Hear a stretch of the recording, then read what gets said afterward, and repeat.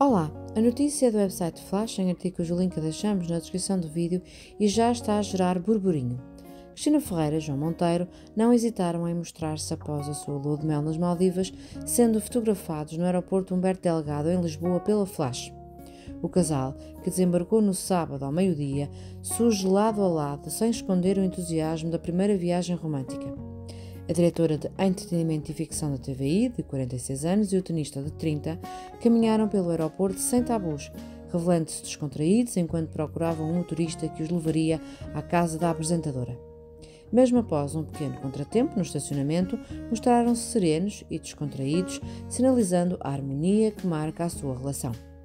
A chegada a Portugal ocorreu a tempo de Cristina se preparar para a próxima gala de Dança com as Estrelas, transmitida na mesma noite. João Monteiro, que tem sido presença constante nos bastidores dos programas apresentados pela namorada, pode novamente marcar presença nesta ocasião. As imagens capturadas revelam um casal que não hesita em partilhar a sua felicidade publicamente, marcando o regresso à rotina após uma semana idílica nas Maldivas. O público aguarda com expectativa a comunicação desta história que une a apresentadora e o tenista, agora também cantada fora dos cenários paradisíacos da sua lua de mel. Muito obrigada por assistir e comentar.